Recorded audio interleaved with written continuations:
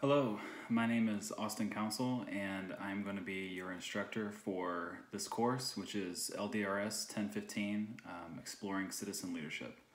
Um, I am very excited to be teaching this class, and I wanted to kind of just give you a little intro video. I'm going to do another one for the first week discussion to kind of just talk about who I am. But for this video, I just wanted to briefly go over some key things about the class that you can be thinking about. So, the first thing is to make sure you have the required the required texts. So there's a Kellerman book, Leadership Essential Selections on Power, Authority, and Influence, and then another text by Peter Northouse, which is Introduction to Leadership Concepts and Practice, and that's the fourth edition. Make sure you get the fourth edition because the quizzes and the discussion posts all kind of align with that um, edition. So a, a, big component of the class is discussion, and unfortunately we're not going to be in front of each other to talk, but there is a discussion component on Canvas. So you will have kind of readings for each week and questions to think about. And I'd kind of just like you to answer the questions for the discussion, and then you'll be given an opportunity to respond to some of your classmates. Um, and that's just a way to facilitate some dialogue. Um, and like I said, I would like it to be face to face, but this is kind of the reality we face with online ed education um, with discussion posts. So, the big uh, assignment for this course is a, a, service learning project where you will be selecting a, um, a service learning opportunity in the community of, uh, in the Blacksburg area and kind of doing a, uh, a video presentation on what you did for that service learning project and there's more details on that assignment in the syllabus and when it comes closer I'll talk more about that. So another assignment is the leadership philosophy uh, which is an individual assignment.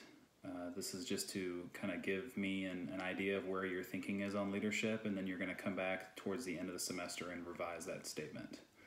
Um, another piece of the class each week along with the weekly discussion posts, there will also be weekly team kind of check ins.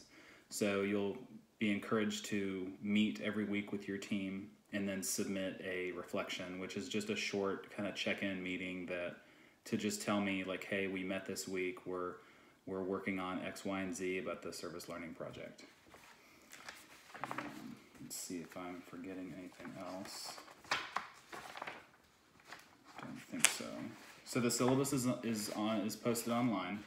The first week there will be a quiz on the syllabus and then a quiz on, well, it's the one quiz for a couple things.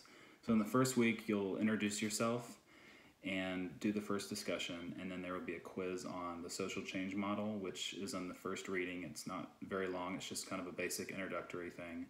And then um, you will also, the quiz will also have questions about the syllabus.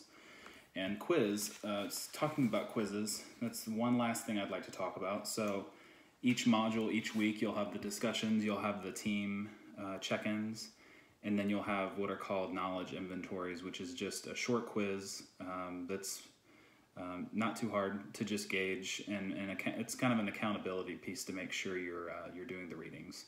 And so I believe they are 10 questions, somewhere around there, about 15, 15 points each week.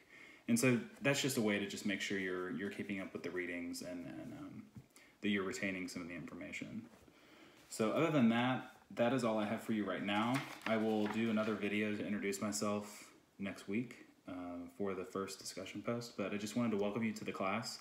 And if you have any questions about anything, just send me an email. My my email is on the syllabus, and I should probably also also mention, yes, I am wearing a Gator shirt I did a lot of my schooling at University of Florida, and I am a Hokie because I work here now at Virginia Tech, and I'm gonna become a Hokie and, and go to the football games and cheer for them.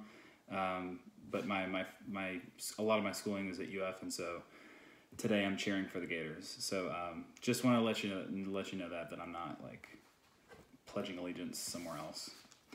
All right, have a good weekend or have a good week, and um, I'll talk to you later.